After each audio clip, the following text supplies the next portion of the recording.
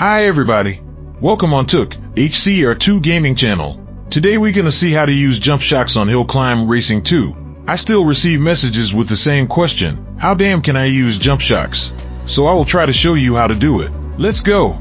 Just before remember, subscribers and likes are my reward. Do it to support the channel.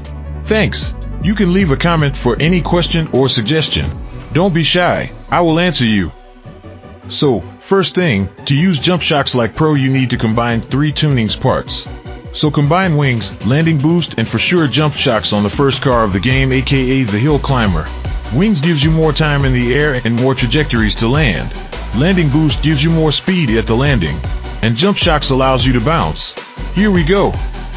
Choose a map. I prefer Desert Valley or City to improve this technique. But you can choose your favorite map, it will be okay. To activate jump shocks, you click at the same time on both pedals, brake and accelerate. Easy. Landing boost is automatic, but you need to touch the ground all your wheels at the same time and after an instant in the air. For the jump shocks, you need to press both pedals in the right timing and just before to touch the ground. You need to train, but if you understand these two things, you are able to do it. The ground is important. If you land in a mounted, you will bounce a lot if you have speed and fly like a butterfly.